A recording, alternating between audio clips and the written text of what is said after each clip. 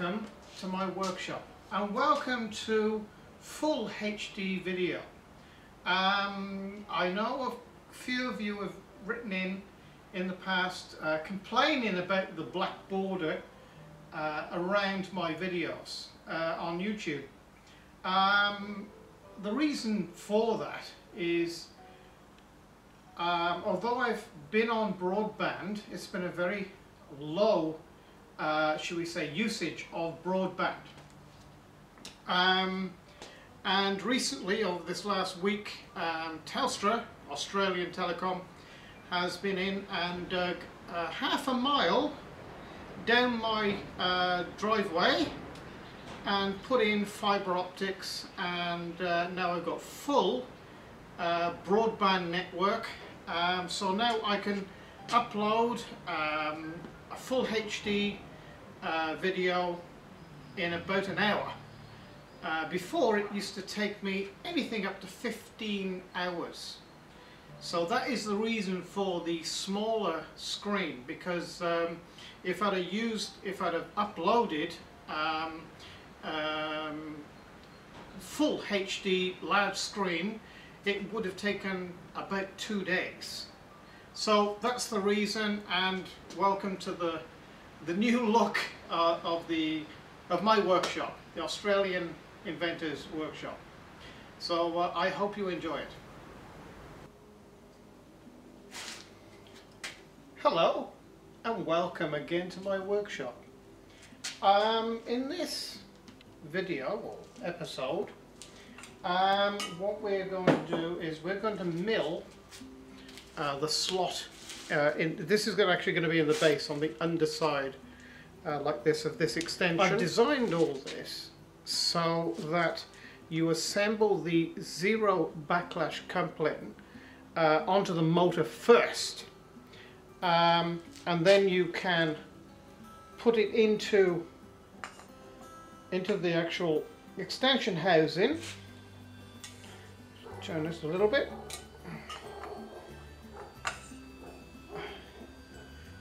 put it into the extension housing you see and you can actually bolt it. That's my German Shepherd. Uh, bolt it onto this uh, this housing and then put this onto the um, each axis as a complete unit and just slip it on and you can you can um, if you can see there, you can you can actually get at the uh, the um, the tightening device there on the inside, and um, yeah, easy to do. Please excuse my German Shepherd. Taking exception to, uh, by the sounds of it, uh, one of the neighbours is uh, close to the, the, the fence line, which is over that way about 50 meters or so. Ah, quiet.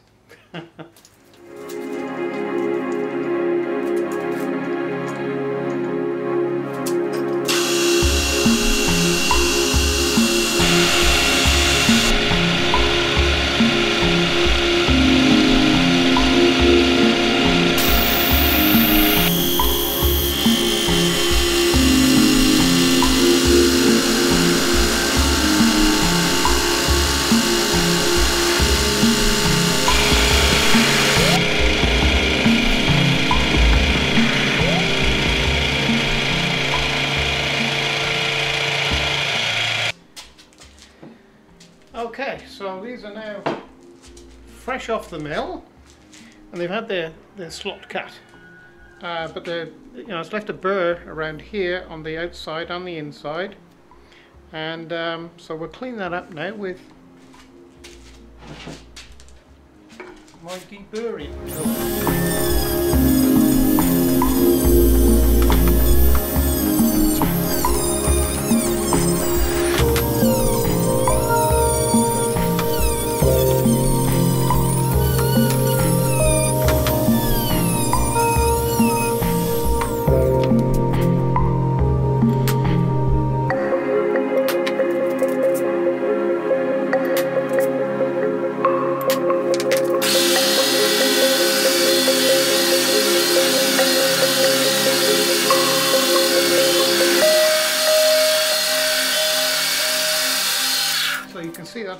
came out very nicely. You'll see a couple of scribe marks on there and some scribe marks on here uh, because I had to line it up really really squarely with the um, bearing pocket inside there.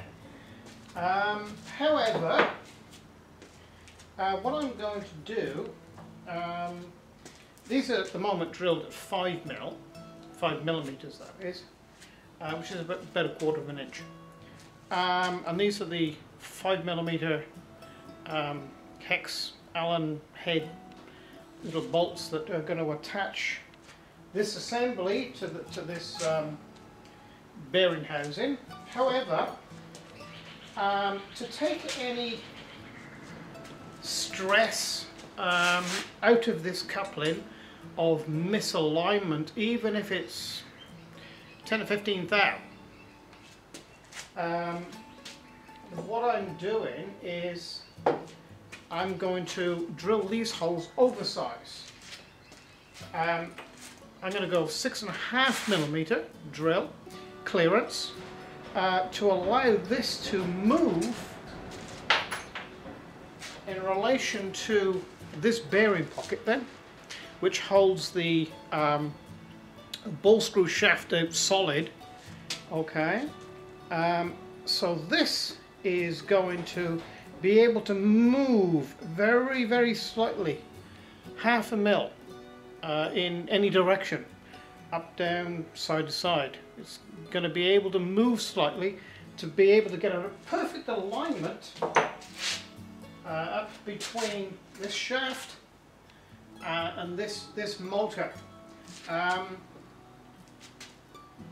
I, I, I believe uh, that uh, there's a few people that's written into me and said, oh, we've had problems with these type of um, zero backlash uh, couplings uh, that they've been breaking through.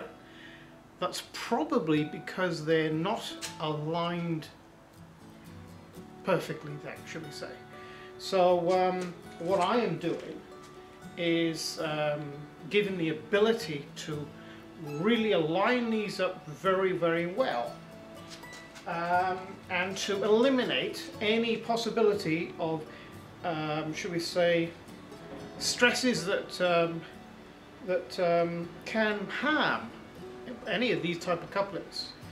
Um, so that's what I'm going to do.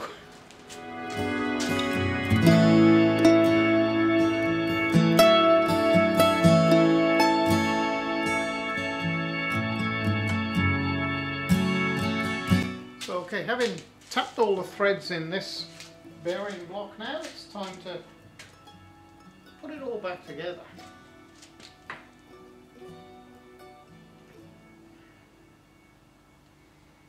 Just simply done just like this.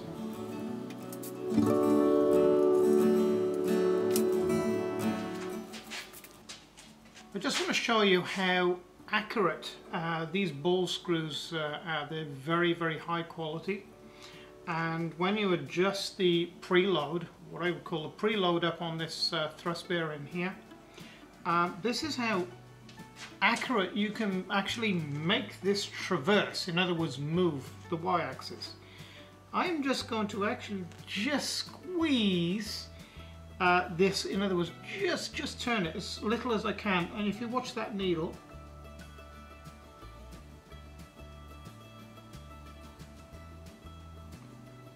and see how much I'm turning it is next to nothing. Well, there actually is no backlash. It's a high quality ball screw or ball and screw. So you can adjust um, this up really, really accurate. Um, I believe that uh, this machine you should be able to get into to within a one thousandth of an inch um, of uh, machining operation um, without too much difficulty I think which is for a machine this size pretty pretty damn good. Okay the next thing to go on now is this flange plate we'll call it. Okay that just simply puts on there don't forget that I did do these holes slightly oversized So I can actually move it very slightly to line the center of this up with the actual uh, zero backlash flexible coupling. Okay, so you'll probably notice you can slightly move it half a millimeter in any direction. That'll allow for perfect alignment. Okay, so obviously this goes at the bottom and um, so what we can do is now put this on. This is a sort of a, a bit of a push-on fit that might require a hammer and a piece of wood. In fact, I know it will. it just taps on. Like that. Very good fit. And of course then these retainers going through from all four flat surfaces.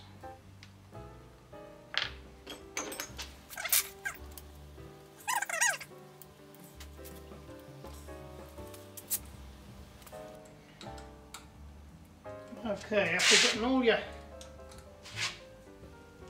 securing bolts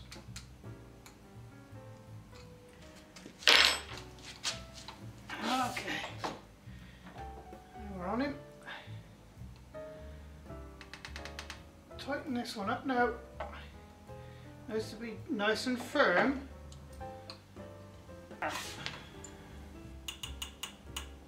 Like that.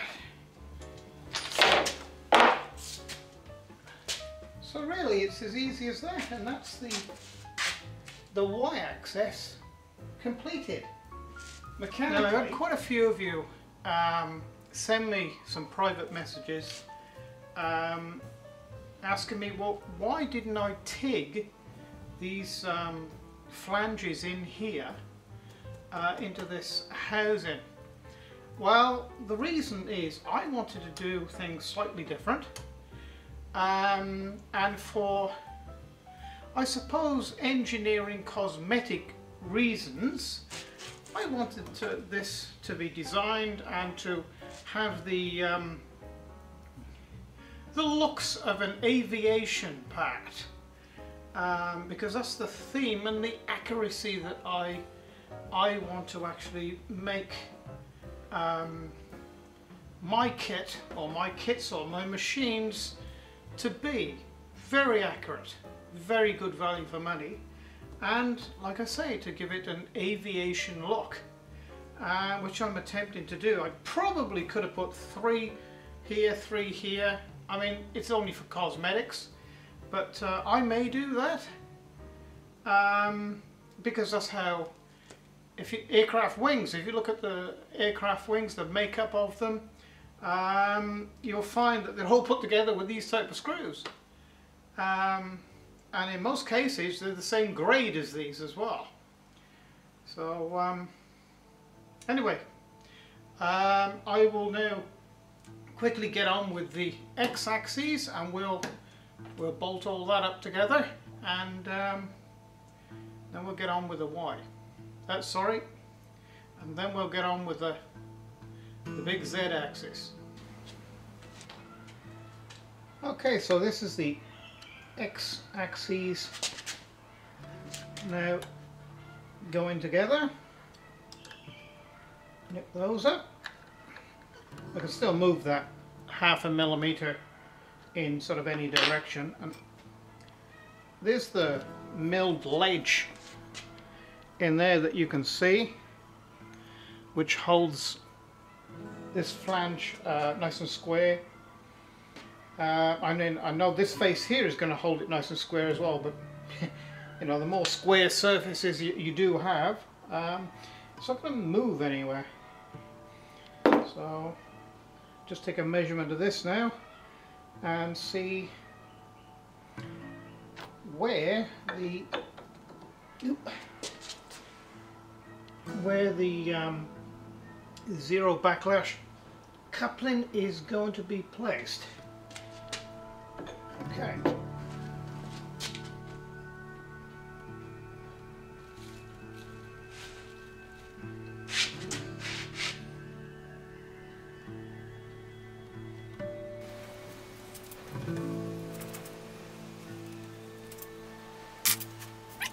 Finally, the X and the Y axis is completed mechanically. Um, so I hope you have liked what you've seen uh, in this video. Please um, subscribe to my channel.